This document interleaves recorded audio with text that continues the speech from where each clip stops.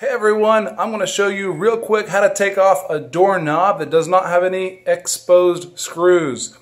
Here's a good example of one. As you can see, there are no screws on the outside here or here. So how do you get that thing off?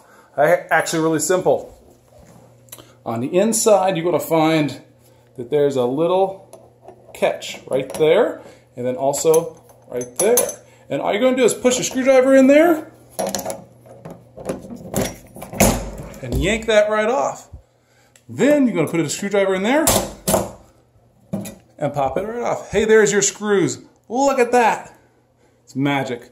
Take those off. And by the way, if you're not using a, um, a screwdriver like this, then uh, you're wasting a whole lot of time. This thing's magic. I got it from Lowe's. And um, yeah, anyway, so that's how you do it.